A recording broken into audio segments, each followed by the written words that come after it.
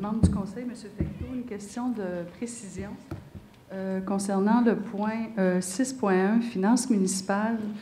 Euh, il s'agissait d'une modification du règlement numéro 0953 que j'ai malheureusement pas entre les mains. Et euh, en fait, une des modifications prévues est l'ajout de, des frais de autres professionnels.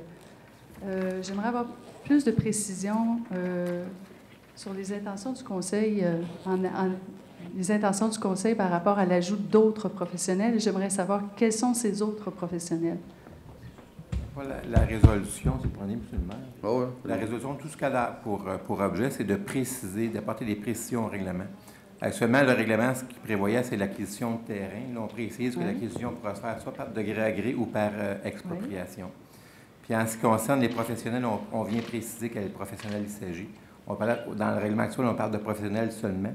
Là, on parle de professionnels à titre d'arpentage au maître, ingénieur et architecte.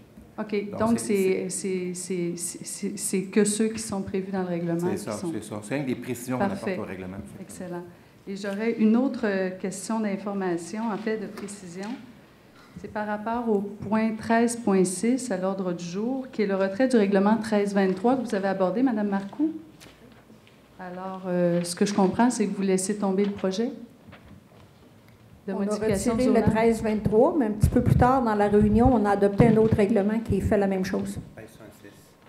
13 quel? 1366, c'est la même chose que le 13-23. Alors, pourquoi avez-vous retiré le 1323 pour ajouter le 1366 s'il s'agit du même objet? Parce que le règlement 1366, c'est un règlement de concordance. Au schéma d'aménagement. C'est parce qu'il y a des citoyens qui ont déposé des demandes pour qu'il y ait un scrutin référendaire par rapport au règlement 1323. À partir du moment où vous retirez le règlement 1323, ces demandes-là sont caduques. Alors, est-ce que c'est une façon détournée de ne pas permettre aux citoyens de se prononcer sur la pertinence d'un changement de zonage? Non, c'est pas un moyen détourné. Ça, c'est vous qui dites ça. là. Non, je, que je vous pose une question, Madame Marcoux. Je vous dis que non, je vous réponds non. Alors, ce que vous me dites, c'est que c'est maintenant le règlement 1366? Oui. Alors, vous allez faire une consultation publique? Un règlement de concordance n'a pas de consultation publique. On est obligé d'aller en concordance avec le schéma d'aménagement. Et le règlement de mémoire, c'était le 1322, je crois. Le 13-22. Oui, le 1322, qui est son cousin. Le 13-22, c'est le plan d'urbanisme. C'est ça. Le règlement 1322, qui est le plan d'urbanisme, a eu la conformité au schéma d'aménagement 2004. Et maintenant, comme lui a eu la, la con- la conformité, le 1322, eh bien, nous, avec le 1366, on fait un règlement de concordance. Si vous Ce que vous permettez, me dites- Mme Marcoux, il y a, il y a une, consultation publique, mais il n'y a pas de- d'approbation référendaire possible. Alors, la consultation publique.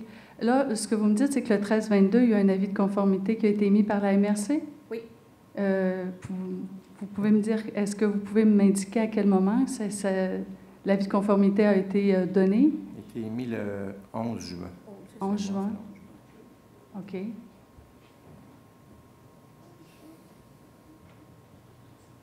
C'est étrange. En tout cas, je vous remercie.